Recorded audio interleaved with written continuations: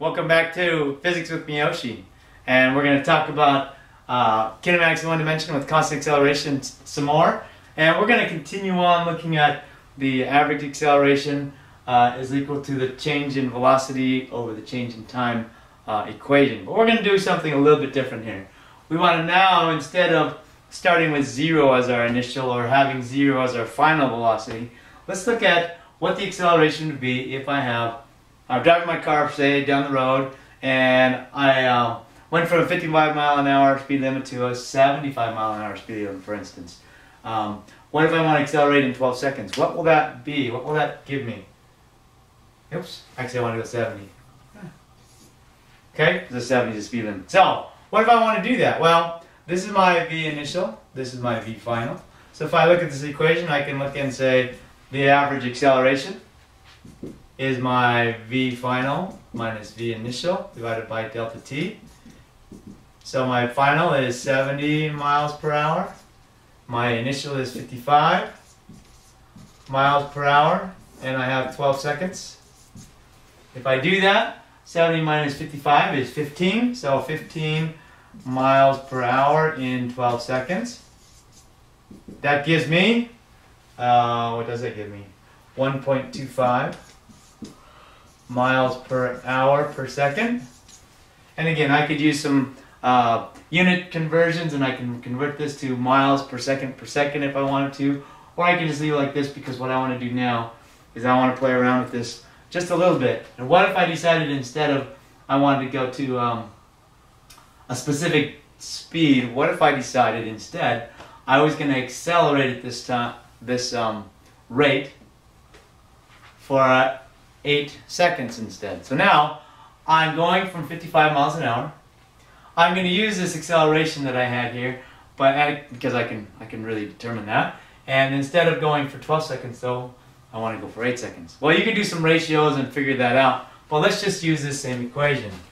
So I have A, average acceleration is my um, change in velocity. Well, let's just do v final minus v initial divided by t.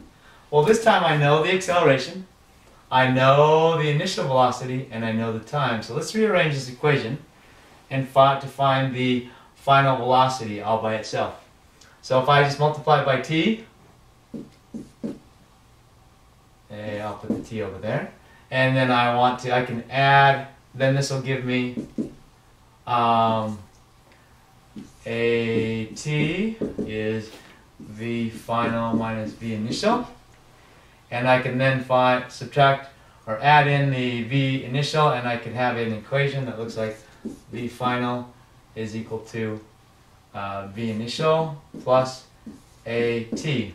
Now if I plug in those numbers there, V initial is 55 miles per hour. Okay? And then I add in my acceleration, which is 1.25 miles per hour per second. And I multiply that by 8 seconds. I get rid of my seconds. Uh, then I can add my, once I multiply that out, and I find that my final velocity is, let's look at my notes here. Final velocity would be 65 miles per hour. So now I just took the same equation and I rearranged it and I found um, an acceleration and I also rearranged and I played around with the, that equation with another different or that same constant velocity for 8 seconds this time and found the final velocity. Now, what if instead I wanted to find the distance that I went going from that 65 miles per hour, so I'll put that back up here. What if I wanted to find how far I went when I went from 55 miles an hour to 65 miles an hour? Well, that's a different um, set of equations. I can actually rearrange these equations or play around with these guys and uh, find out my final velocity is v initial times time plus a times the time, acceleration times the time. Um, oh. And I can also, but I, but the easier equation to look at is um, d is my average velocity times the time. Well, what is my average velocity in this case? Well, all I have to do is plug it in here.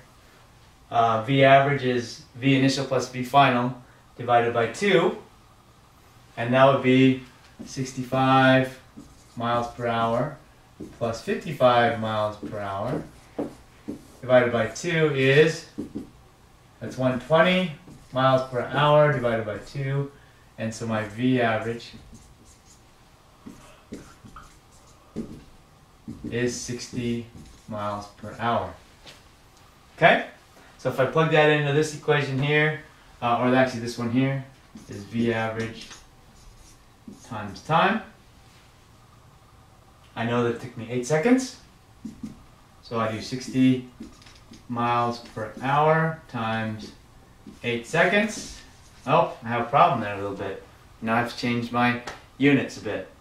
Well, I can either change my hours, uh, this guy to seconds, or I can change the seconds to hours. And what I'll do is I will change this hours to seconds, so I have 60 miles per hour. I'll change that, I'll divide that by 60 minutes per hour. And I'll divide that by 60 seconds per minute. That gets rid of my minutes, that gets rid of my hours. I'll multiply that by my 8 seconds. And I get 1.33 miles. When I multiply and divide all this out, uh, the 60 goes away too. Well, it divides out to 1. And so I have 8 over 60, which gives me 1.33 miles. So, um, there's one other cool equation you could come up with with these two equations right here.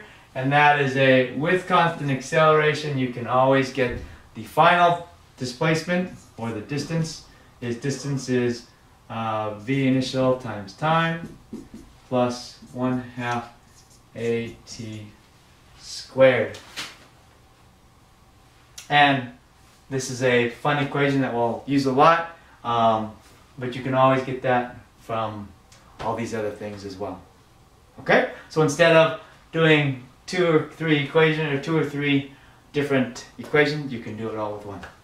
Alright, so you can play around with different equations in the um, kinematics and come up with lots of different fun answers for lots of different fun and exciting problems in physics.